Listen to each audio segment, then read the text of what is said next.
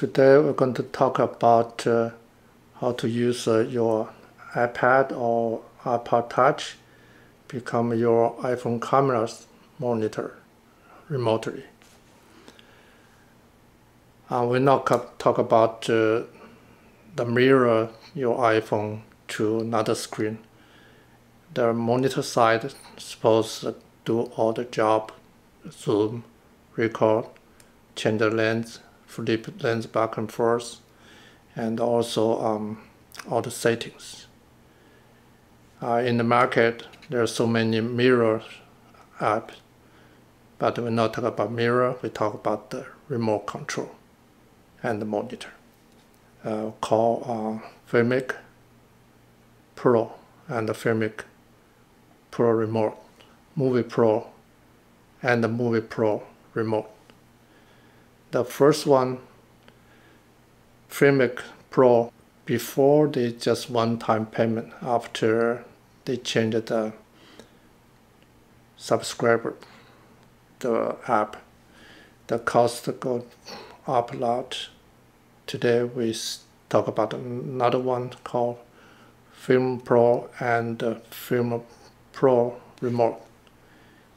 It's not free, but um, I figured it's a kind of reasonable price and uh, I can't afford. Um, these two apps, you have to uh, buy them together. You cannot only just install the remote app. You have to get the Pro app plus remote app. Um, we do this uh, step by step. Step 1 on iPhone side. From App Store, download and install Movie Pro and the Movie Pro Remote app.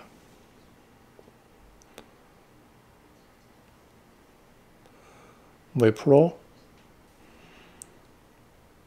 and the Movie Pro, uh, Movie Pro Remote. They come in bundle. Download and install both Movie Pro and Movie Pro remote. Step 2 on monitor side. From App Store, download and install Movie Remote app to your iPad or iPod Touch, this app.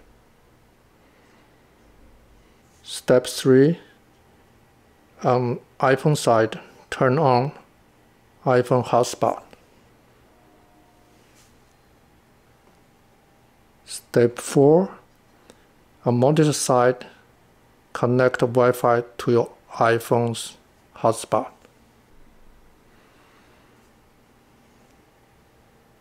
Okay, we check the connection. Let's connect. Step 5 on iPhone side, open the Movie Pro.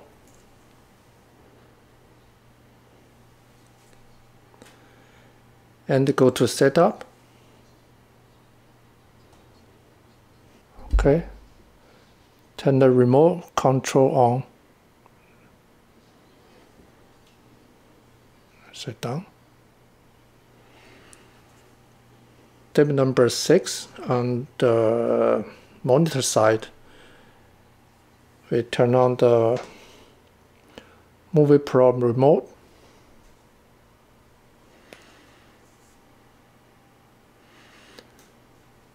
And then go to connect. And then we see iPhone. It's connecting. Okay, now we see um, the remote monitor side got to over uh, take over the control. Okay, in this side we can do zoom, zoom out. I will select uh, lens.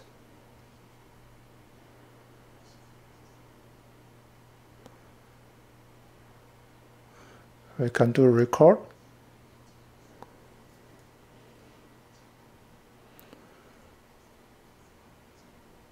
Going to take picture.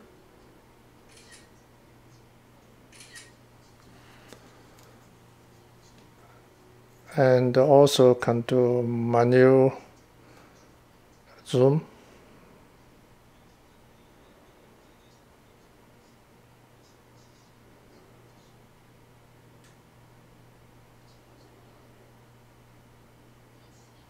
and also you can flip the lens